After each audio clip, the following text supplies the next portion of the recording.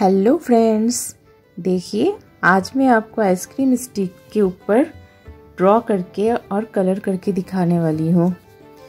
मैंने एक ए four size paper का छोटा सा टुकड़ा लिया है। आइसक्रीम स्टिक से थोड़ा छोटा चाहिए हमें।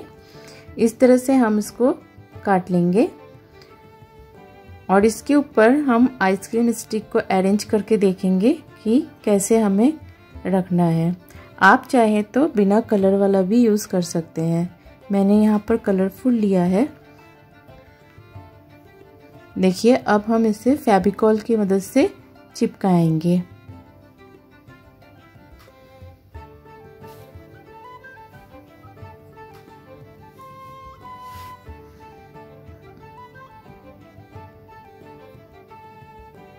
ये देखिए, मैंने इसको चिपका लिया है।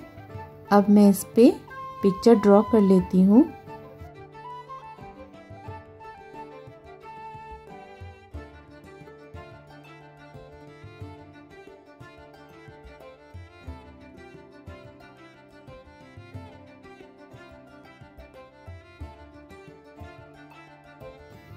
ये मैंने भारतनाट्यम का एक पिक्चर ड्रॉ किया है।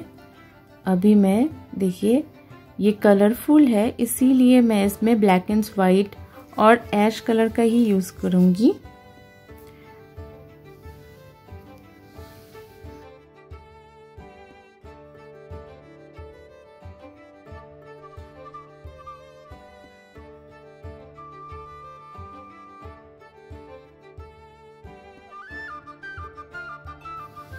अभी मैं ब्लैक से बॉर्डर दूँगी।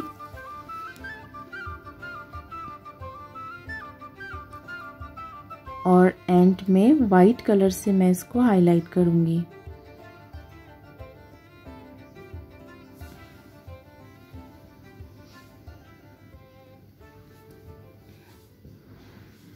देखिए।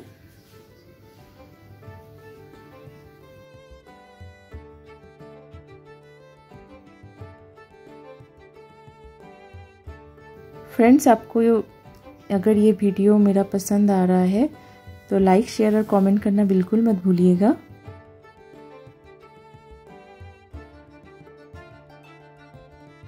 और इसे हैंगिंग करने के लिए मैं एक धागा इसके पीछे लगा के सेलो टिप से इस तरह से चिपका दूँगी। और ये रहा हमारा फाइनल लुक धादिन दिंदा धादिन दिंदा, ना तिन तिन ता ता दिन दिंदा धादिन दिंदा। तिन अति तत धातिता धातिता धातिता तकित दिकित धा तति तत अति तत अति तत अति तत धातिता धातिता धातिता तकित दिकित धा तति